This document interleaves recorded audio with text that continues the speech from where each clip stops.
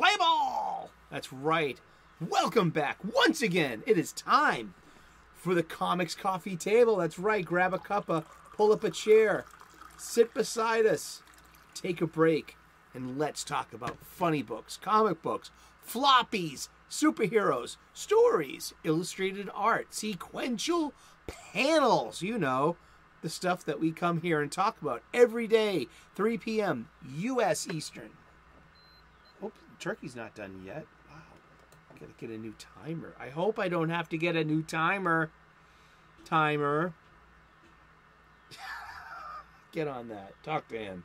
Maybe you could give the timer a charge. Oh, batteries not included in my puns. Whoa. Happy Sunday.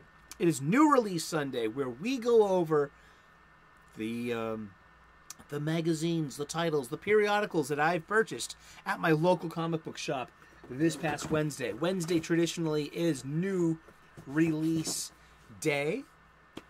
Uh, you know, some I like to give it a couple of days to air out, you know, and perhaps you know just there's spoiling to be spoiled, then spoil away. I mean, just by Sunday, you're more of like, okay, you know, just well, sorry. It's been a couple of days. I know spoilers kind of suck, huh? I hate spoilers, and um, but they happen, huh? You get spoiled. Sometimes you inadvertently spoil other people. Oh man, I've done that a few times. And, oh, an home game. well, thank you so much for tuning in. Uh, we like talking about comic books. We do this every day, 3 p.m. U.S. Eastern. You can catch the live chat premiere and be part of that conversation, or you can continue the conversation in the comment section. This comic book shop style conversation. I'm usually during the week. I'm reboarding, rebagging, reboxing my entire collection, and um, we just take uh, we take time to to appreciate old comic books, their condition, uh, what they could be worth today in the speculators market, um, the art, the panels, the advertisements, the paper quality, you know where where they stood in history when they were being written. You know, how does it compare to now? Does it hold up? Is it appropriate? Is it problematic? I love this conversation that we have. This conversation, this comic book shop style conversation. You know, and just this is great. YouTube's a great place to have this uh, to have these conversations. Social media is okay. There's a lot of polarity, a lot of outrages, a lot of you know this, this illusion of two tribes. I don't buy into that. But what I do buy is things at my local comic book shop and the the experience that I get there weekly, talking to other comic book geeks and seeing what they're buying and you know having, seeing other people who aren't like me and who probably don't you know feel like me or identify with me that's okay. It's good to see this this this community. It's a real social feeling the local comic book shop. So on Wednesday, I, I love to go there and just peruse, literally peruse the new release shelf. I get up close and I know I missed something. So I always step back to the other side of the store and look at it from afar. And I, re- uh, oh, look, how did I miss that? like, I. Amazing Spider Man 27 was already sold out. I would have I already told myself I would have at least thumbed through it, looked at the Ed McGuinness art, um, find out if Kamala Khan was actually a Skrull. I was waiting for that shoe to drop. It could have happened. Come on, this is comic books. Uh, chicanery is not below the producers of this fine art. you know, um, but no, I did not see Amazing Spider-Man 27 up close or far away. It was sold out on new release Wednesday at 2:30 p.m. U.S. Eastern. The store opened at 11. They've been open for three and a half hours. Now, it's it's not. I'm not. A, I would never accuse the store of not getting enough. You know, they got plenty of other titles that I know could be associated with returnability. I see them. I've seen them there for for three weeks now, four weeks now. I wish I could help and buy, buy them, you know, but I got my reasons. But it's it's it's glaring. I mean, you know, like okay, there's a stack of ten City Boys. There's a stack of six Spirit World number ones, and then there's another twelve number twos on top of it. But that's okay because they might have they probably moved maybe ten issues number one. And you know, and I'm not picking on my store. I'm not even getting into how they order or anything. I'm just I'm just noticing as their customer. I'm their weekly customer. So the kind of like who knows what's on their shelves? The bosses, uh, the staff, and the the, the, the weekly customers. Yeah, I know it's you know I, I know what to look for and where to look for it. You know, and um, and I know what was there last week too. but yeah, I mean, it's but it's a great experience. And while I'm there, guess since I'm reboarding, reboxing, and rebagging my entire collection, I'm getting my supplies there, my boxes. I don't want to knock everything over or my pot of coffee, my bags, my acid-free boards, and I'm getting them all at my local comic book shop. I could be getting them at my big box stores or my local supply chain but I'm not. I'm agreeing to pay the up uh, the retail uh, markup because it helps keep my local local my local comic book shop open, and it's it's a local business. It's a mom and pop shop.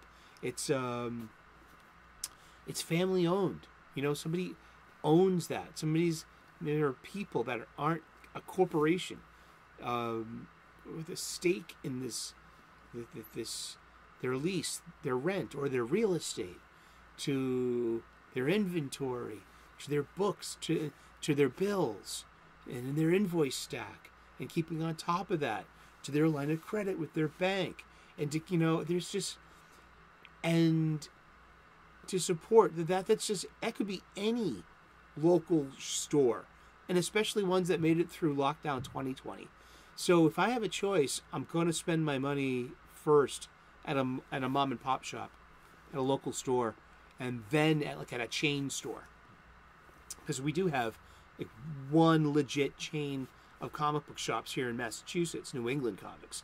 I believe they they're down to five locations, five stores: Quincy, Brighton, Malden.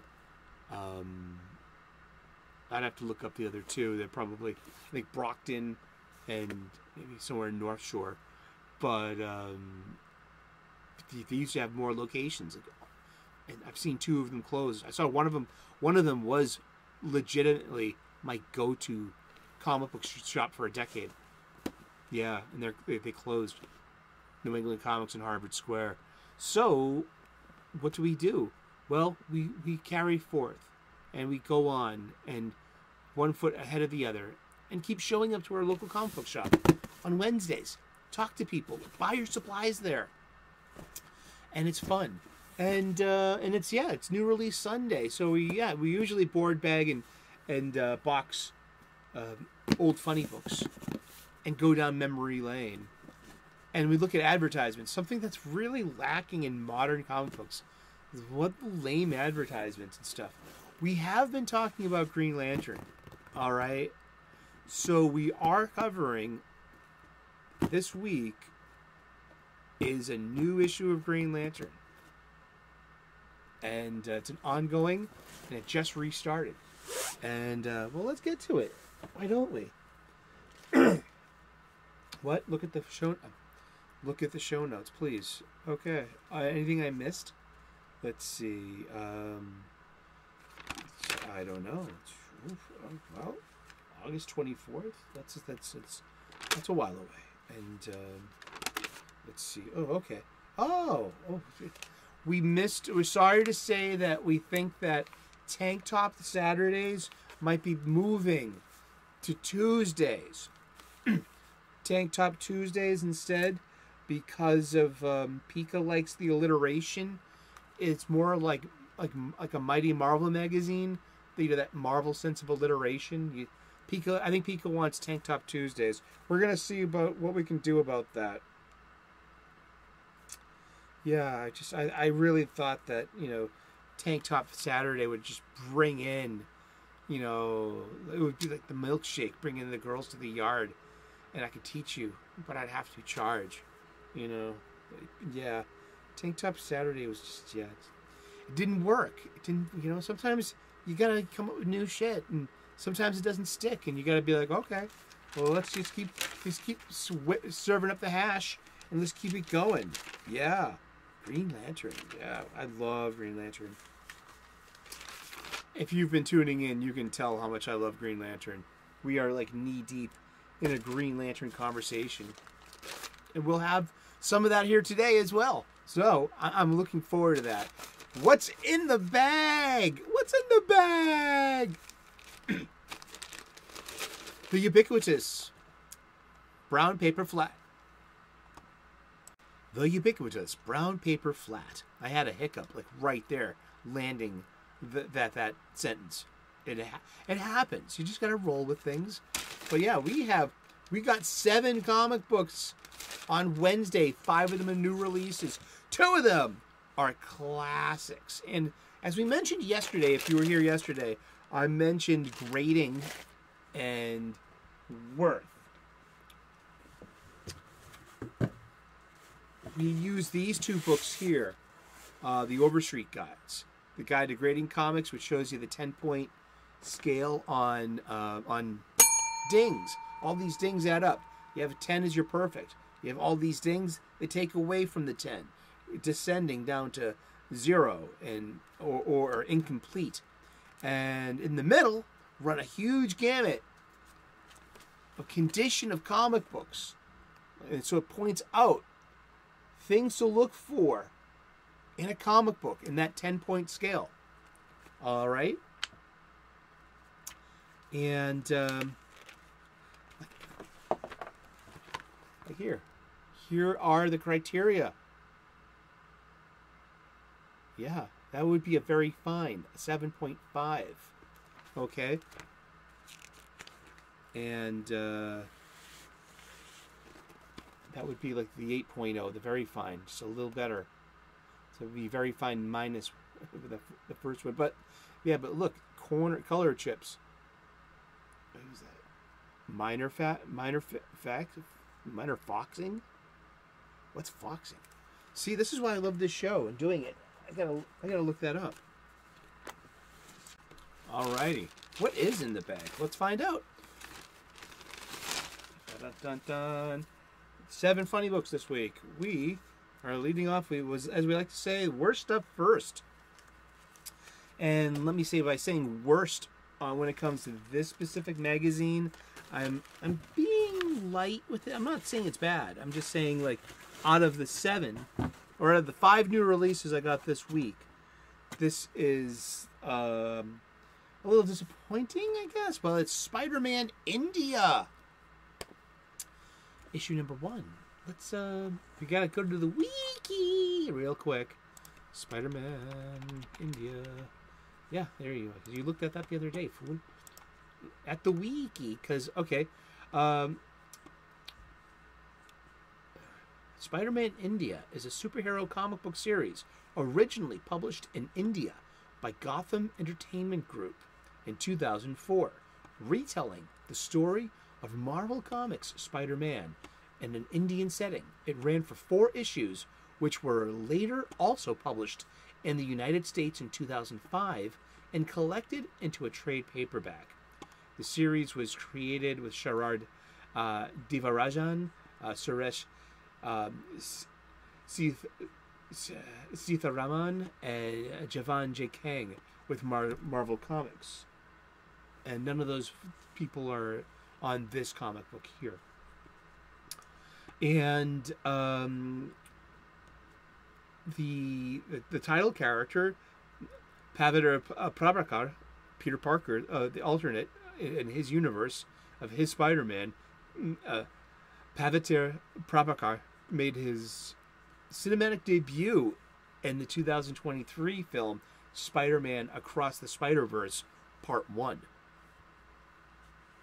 He's voiced as he's voiced by Karan Soni and depicted as a member of Miguel O'Hara's Spider Society. He's um, it was a four issue miniseries that ran from 2004 November 2004 until February of 2005. I remember when this came out. I remember seeing it on the shelves at my local comic book shop at, at New England Comics, Harvard Square specifically, um, on the new release shelves.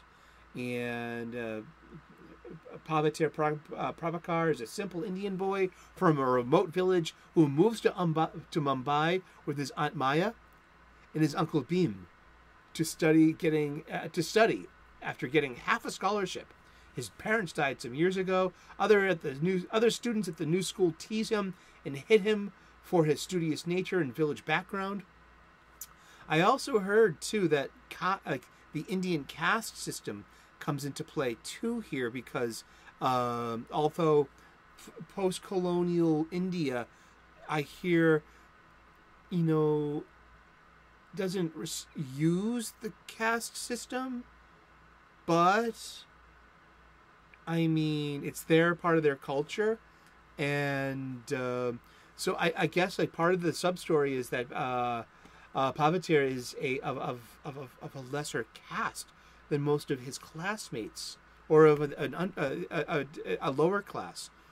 Yeah, and uh, and he's got an MJ, and um, and then c- comes, you know, the usual alternates, and this one has to do with uh, an alternate of uh, Dr. Connors, Kurt Connors. Alliteration. Anyone? Peter Parker, Kurt Connors, Kamala Khan, you know, you know Reed Richards, you know, is about um, his version of the lizard. And so, but it's cute. It starts, it opens with, um, you know, the info dump page, and that's yeah. Well, let's, let's look at a comic. Let's look at a modern funny book. This cost three ninety nine. This is a normal size comic book. What do we have for ads? We've got Guardians of the Galaxy. There's Marvel Age number 1000, whatever that is. Um, Spider, another house head. See. Universal Studios for the look at Marvel Land. So yeah, here's uh, your info dump page, and it just starts with uh, multiverse antics. It starts off in Marvel six one six. That's the that's the the the the, the look. We're talking over supper. Ha ha ha ha ha. I know, but yeah, I mean, just like, yep, just all I see is digital assisted art and cut and pasted onomatopoeia. It's I am sorry. And then we go back to Earth 50101. That's that's um, pa- uh, pa- Earth, where he is the Spider-Man, the only Spider-Man. So he, you know, yeah, and here's Pete and Aunt Maya, Aunt Maya, and then like him at school, and he's got an MJ too that he's like trying to, you know, you know, woo and be his friendly neighborhood Spider-Man. I mean, Mumbai, what a huge city. Well, I mean, seriously, it's actually a really awesome idea to have Mumbai needs his own Spider-Man. Detroit, Chicago, San Francisco definitely needs its own Spider-Man. I mean, just what about supply and demand? Well, seriously, I mean, Spider-Man India, it's cute. I'm glad I tried it, but it's just overall it's weak sauce when it comes to writing and art. I mean, at least we got a, some semblance of some cross hatching, you know what I mean, in in, in in a few of these faces. But for the most part, it's just like, is this, you know, I mean, you you and your thing about digital art? Yeah, of course. I mean, just but this is also inked by Scott Hanna. All right, so we've got the uh, the writer the the artist I mean, the the, the, the, the penciler and the colorist is on here, but the inker isn't. The inker is Scott Hanna, and so that's why I'm like I can see familiar, you know, I see familiar tones. I can see Scott Hanna's hand, literally on these on these panels. Now these panels are fine. I mean, this is here we go. That's that's some tr- traditional Spider-Man storytelling, story beats, but it's yeah it, yeah it's a miss for me. So we start. That's um. That's that. We've got Don't Spit in the Wind, number three from Mad Cave Studios. And this is how we find out when uh, when this is like, oh, really? To be concluded next issue.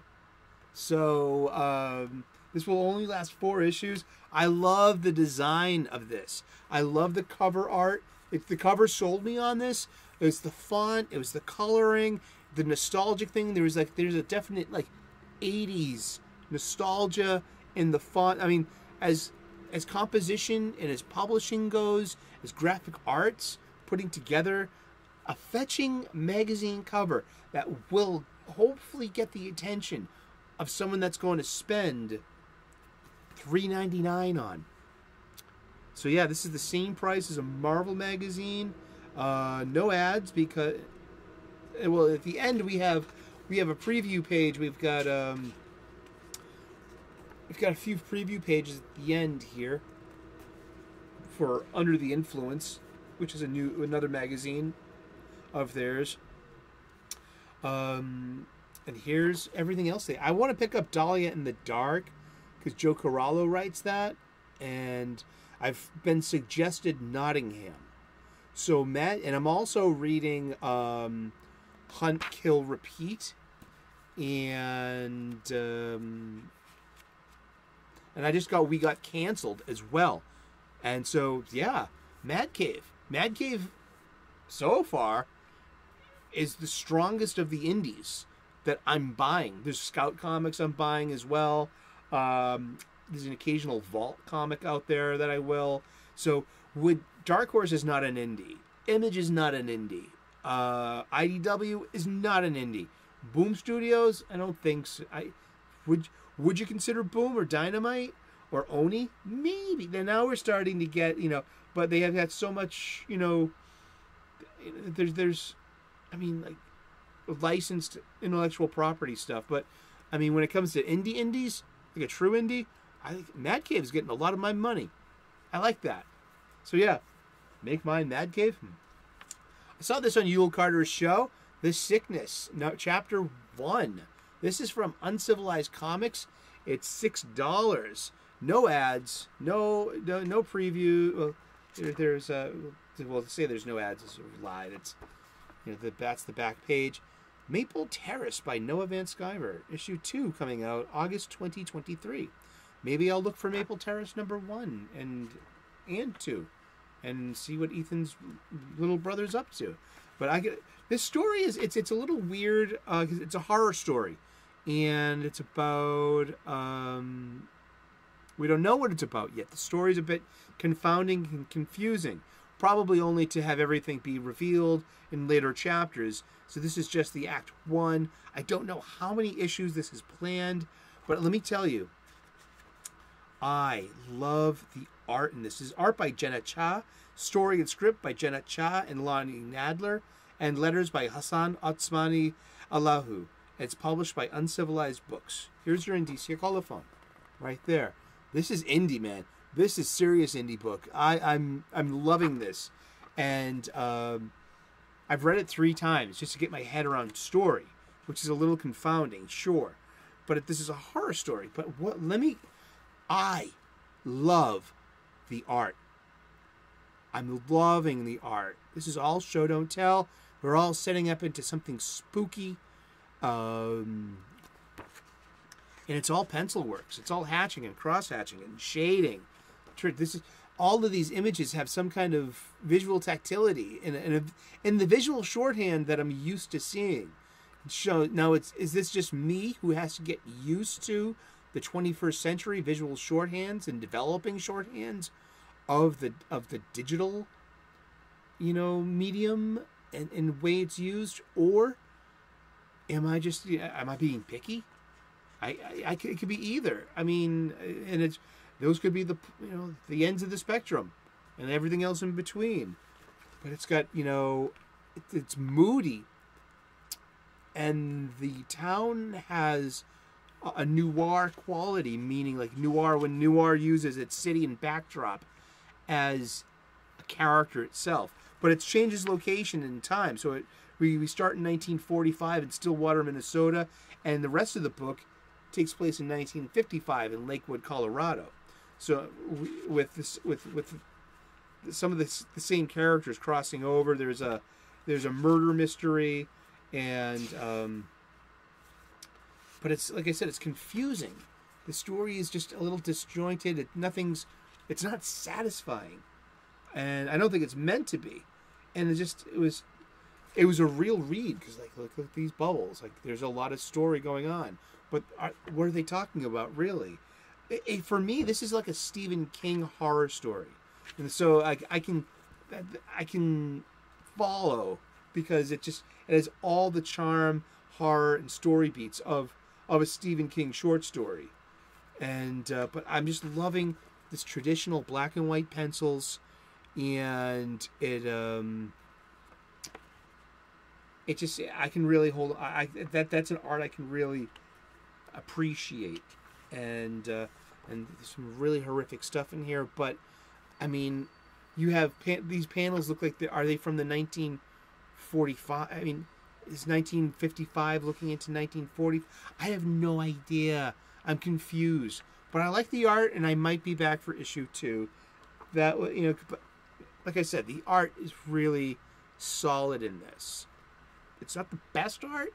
I'm not saying it's like you know oh wow I'm just more of like i'm appreciating very appreciative of the non-digital art here we have Clobberin' Time number four which also here we how do we find out?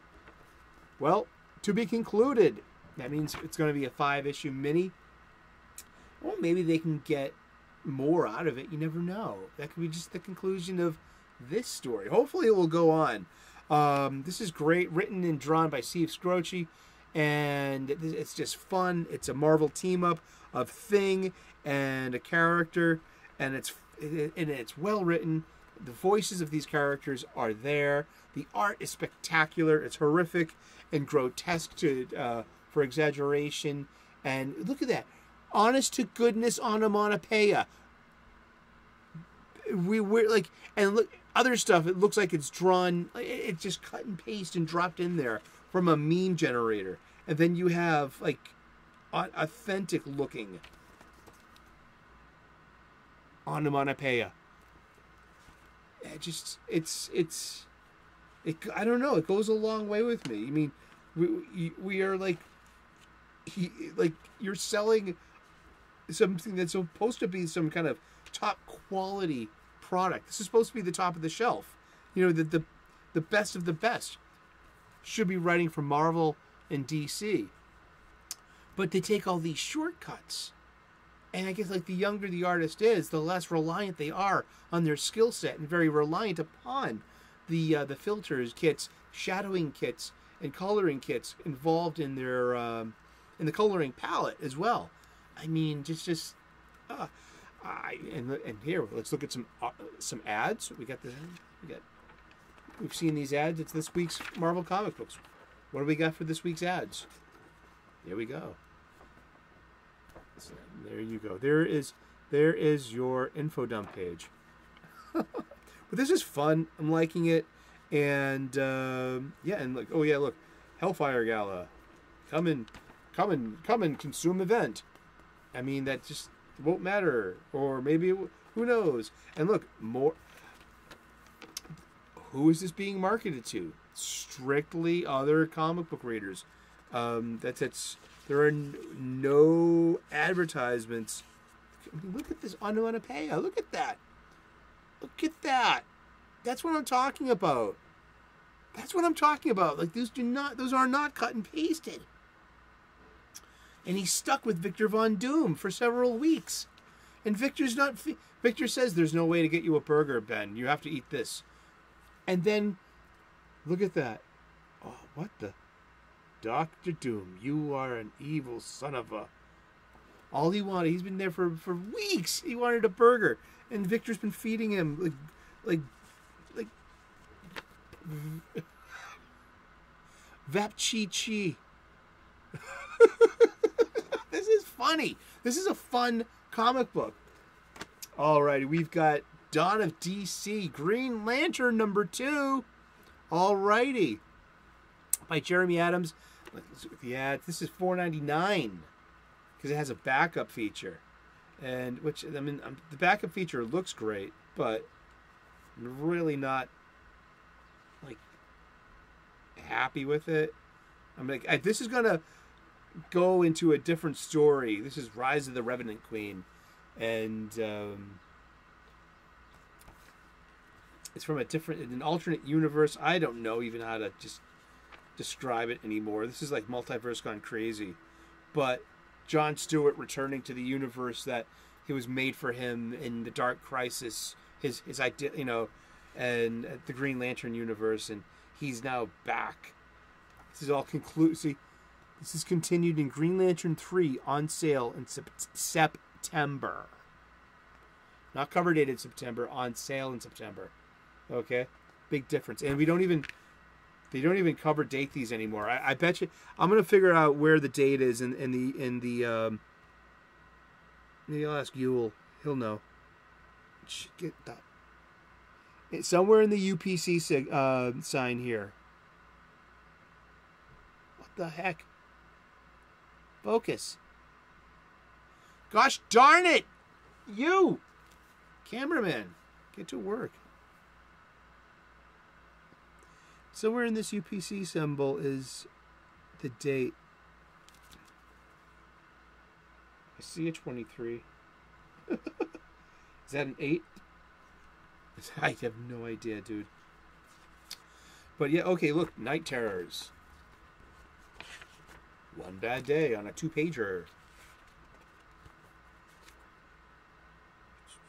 We have unlocked the Multiverse. You know what I mean? In the inside ad, we have Flash, the movie, which I heard is terrible. Ugh. Look, AEW at least. Okay, here's one. You know, is it related somehow? Turner Broadcast, owned by WB or something. Look, hey, another Flash ad. Get up to speed with. Wow, Flashpoint but not Flash Rebirth. Mm. Wow. I wonder why. But look, using Earth Zero, I mean, see, on Earth Zero, that's good to know for me, like, no, trying to figure out what Earth they're on. But this is like another universe, another time. That I believe that's the John Stewart made universe from Dark Crisis. And Guy Gardner may have been killed there. And also, there's an info dump page here I wanted to bring up yesterday. So here, here's the, the here's the memo page. Here's our Robert. Here's our our, our Jonathan Hickman type memo page. This is a memorandum for the United Planets who are now overseeing the galaxy, the, th- the you know, and the, the Green Lantern Corps. Earth is sector sector two one eight four. Has been uh, is, is a quarantine zone, and um, including Earth and so Sinestro is, is, is missing in action, location unknown. Hal Jordan, status inactive, and is an energy source det- detected. He had his ring taken away from him. Um, then there's redacted, deceased. Former Lantern Jordan filed report. John, John Stewart, location unknown, advise. So he could be in his own universe, you know. Kyle Rayner, redacted slash field port. All other 2184 lanterns reassigned. That means Simon Baz, Jessica Cruz, and Sojourner Mullein, another known as Joe or JoJo Mullein. And um, who is redacted? Well, who the hell could else it could it be? It's Guy Gardner. That's the glaring omission from this list. And why is he deceased? Well, it could be because he was a version of him was killed in, in issue one's backup feature, a Guy Gardner from that universe. And Rise of the Revenant Queen, number part one by Philip Kennedy Johnson, art by Montos. There was a Guy Gardner killed there. But specifically, it's more of the. Uh, I think it's the Tom King Black Label Human Target feature, which had um, of which Guy Gardner gets killed by his ex girlfriend Ice, gets turned into ice and then shattered, and then you know. Exactly. I mean, I have got so many questions, but actually, it's a Tom King book, so I don't care. But uh, but yeah, we've been talking about Green Lantern all week, so here's a new number two. And what happened? Well, Hal Jordan's been on Earth, and he's down on his luck. Of course, he needs to hit Carol Ferris up for a job again, and he wants to schmooze back in on her. She's got a boyfriend. So somebody sold a Manhunter, uh, an old Manhunter robot, as a, a suit of armor on the black market. This guy bought it and tried to be in a super super villain Hal Jordan it was it was was there, and apparently he uh, was able to use his willpower to form a new ring out of the, the latent Green Lantern Green Lantern energy in that Manhunter, um, ar- uh, you know, metal and armor. That Manhunter robot that's being used as a as someone's armor. He was able to uh, to form a new ring out of that. So it so does it possess the qualities that his old ring had, like the Silver Age, um, you know, protects the wearer from uh, from mortal injury. I've seen that used. Um, it does it have the ability to reproduce, like make another ring. I've seen that used in Hal's old ring. So uh, pretty decent art, though. Yeah. this was pretty fun. So I'm in for in for the win for this. And um, two old comics too. Of course, you know I'm a sucker for the for the Marvel 1981 late 1981 books that have the Columbia 10 speed racer bike contest. So we've got um, I got this for for ten dollars. It's in de- really decent condition.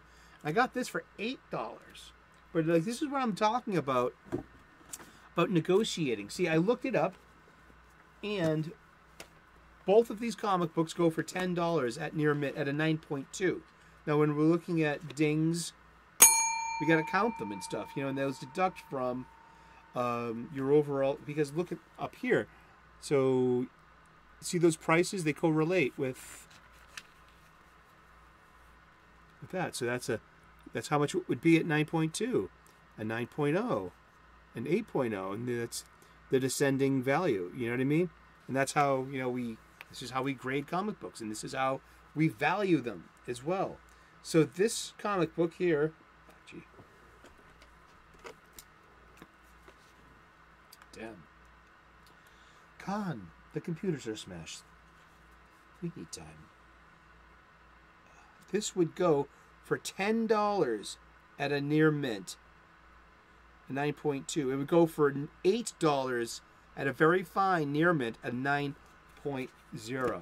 And now I'm thinking this comic book is not a 9.0. And I should have taken it out of the sleeve to inspect it. And I'm going to show you two glaring dings.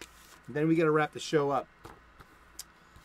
You can see that from here. Look at that. We got a stain. We got a huge corner stain from here all the way up. Uh, but besides that, no corner roll. I mean, no corners are tight. You know, no spine roll. Just that weird stain and discoloring. Um, you know, but here, literally here, you see those two little. Okay, see that? That's a foreign thing. Can you hear that? I mean, that that's like, it's like resin, or it's like or, or something. It's coming off, kind of, but it's also smearing. I really don't want to mess with it. It's kind of it feels sticky like resin or tar, but though that's a ding. Uh, of course it is. So I got I've counted two dings. So does it? Did I overpay for this funny book? Maybe, maybe. See a little bit of that. You can see a little bit that stain too here yeah, huh? Did I overpay for this comic book? I did. I think I did. Should I have nego- uh, haggled a bit? I should have. I should have. Do I need a wrap after this episode? I do, I do. You need to get back to your day as well. We do, we do. Thank you so very much for tuning in today. It's New Release Sunday. Where does this go? I just like, I never mean for it to go on this long. I just start blah, blah, blah, blah, blah. Ramble on. That's right. Here are our new releases this week. And um, pick of the week. It's clobbering time. Yeah, loving it.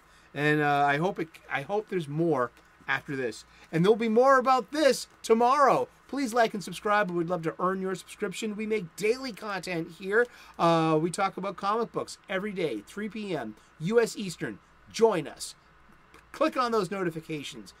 Like this video. And we will see you tomorrow in those funny pages. Cheers. Bye bye.